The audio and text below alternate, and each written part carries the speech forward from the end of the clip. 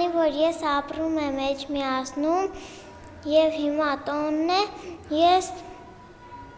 պատրաստել եմ հոգևորական, հոգևորականներ եւ հրեշտակ եւ դրանց անունն էլ դրել եմ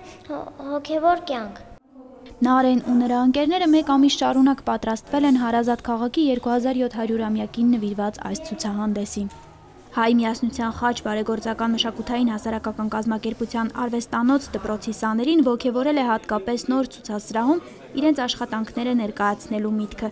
որպեսզի այստեղ հաջախող փոքրիկները նոր ցուցասրահ ունենան, կազմակերպության ու քաղաքապետարանի ջանքերին միացել են նաև Հայաստանում Արաբական Միացյալ Էմիրությունների դեսպանն ու շվեդաբնակ Ամիրյանների ընտանիքը։ Ամեն երկիր իր հիմքը դրվում է իր մանուկներով, իր երեխաներով։ Եվ այս մանուկներն են, որ պետք է մեծանան եւ մեր երկիրը ոտքի կայնացնեն։ Սրանք մեր ապագան են։ Մենք ինչ ունենք, սրանցով կունենանք։ Եվ մեզ համար շատ-շատ կարեւոր է, որ սրանք ունենան առողջ եւ լավ ապագա։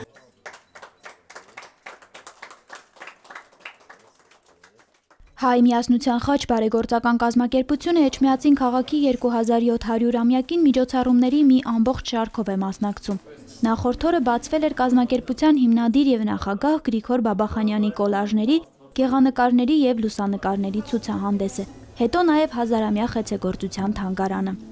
Այստեղ ներկայացված են մի քանի հազար տարվա պատմություն ունեցող հայկական խեցեգործության նմուշների կրկնօրինակներ, որոնք պատրաստել է խեցեգործ Վահագն Համբարձումյանը արվեստանոց դպրոցի սաների օգնությամբ։ Իրենք եւ ֆունկցիոնալ են եւ բավականաչափ գեղեցիկ են։ Հին ժամանակների համար դրանք բացառիկ արժեքներ են եւ մենք ընտրել ենք դրանց մեջից լավագույնները ու կատարողական տեխնիկայով բարդերը բավականին եւ հաջողությամբ կարողացել ենք հավարտին հասցնել։ Հուսով եմ կնպաստի, որպեսզի մեր նոր սերունդը ավելի լավ իմանա, խորությամբ իմանա իր պատմությունը, մտնի իր ազգի սրտի խորքերը, պատմական սրտի խորքերը եւ նաեւ առիթ կլինի, որպիսի շատ զբոսաշրջիկներ գան այդ վայրը տեսնելու։ Հայ միասնության խաչ բարեգործական կազմակերպությունը բազմաթիվ կրթական, մշակութային, սոցիալական ծրագրեր է իրագործում։ Կազմակերպության արվեստանոց դպրոց է հաճախում 200 երեխա։ Հայ միասնության խաչը իրականացնում է նաև Էջմիածին քաղաքում զբոսաշրջության զարգացման ծրագրեր։ Աստղիկ Հակոբյան, Գևորգ Հավաքյան, Եկեղեցական կյանք։